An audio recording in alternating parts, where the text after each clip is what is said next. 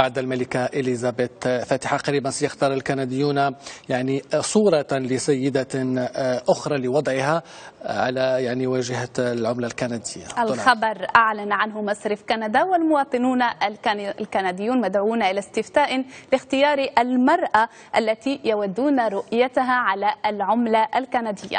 وقد وضعت صورة الملكة إليزابيث على عملة العشرين دولارا كنديا منذ تأسيس مصرف كندا عام 1935 وتحتاج المرشحة إلى شروط معينة كي توضع صورتها على وجه العملة.